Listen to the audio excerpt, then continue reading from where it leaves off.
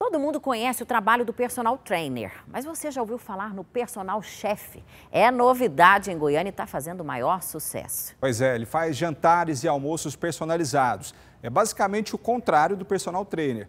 Um quer te fazer emagrecer e o outro quer fazer engordar.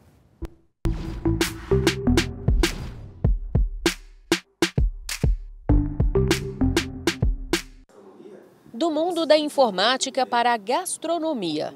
A virada na vida do hoje chefe conceituado Adriano Teles aconteceu em 2018. No curso de gastronomia descobriu uma nova paixão que hoje é a principal atividade de Adriano. Com várias especializações e pós-graduações, ele se destaca no preparo de carnes, massas, pratos clássicos, cozinha contemporânea, entre outras delícias. Domina a arte do sabor e hoje leva o melhor da culinária para dentro da casa do cliente é o que chamamos de personal chefe.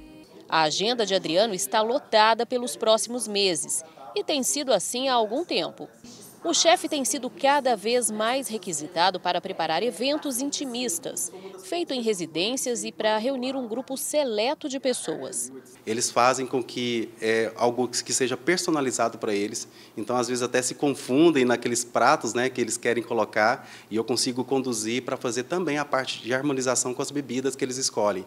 Então, para a gente fazer esse equilíbrio, eu preciso entender o que eles querem, escutar o que eles desejam, para eu poder formatar e entregar para eles o melhor em cima da gastronomia.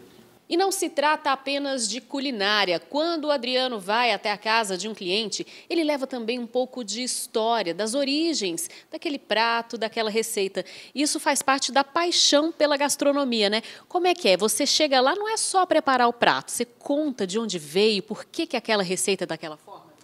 Exatamente, Mônica. É, quando a gente fala sobre um prato ou sobre uma história, a gente consegue conectar e levar aquela família, aquele casal que escolheu né, aquele cardápio para aquele país de origem. Então, é muito importante é, a gente entender um pouco, não só da gastronomia, da culinária como um todo, mas também de história. Os clientes falam da praticidade desse tipo de serviço. Eu já contratei ele para evento romântico, para evento familiar e para momentos assim que eu realmente eu quero curtir aquele momento com a minha família ou com a pessoa amada. Então achei muito legal encontrar esse trabalho dele.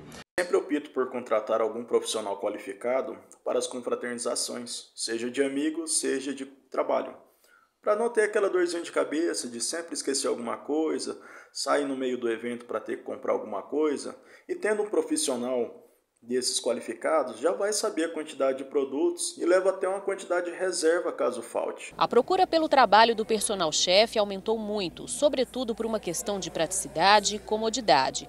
E cursos na capital já preparam profissionais interessados em atender esse mercado. O número de pessoas que vai indicar qual o valor a ser cobrado, já que o mercado cobra de hoje em dia de 100 a 220 reais por pessoa, ah, dependendo do que precisa ser servido. E para quem pensa em comemorar uma data ou apenas saborear um bom prato no sossego de casa, eles estão aí para tornar a ocasião ainda mais especial.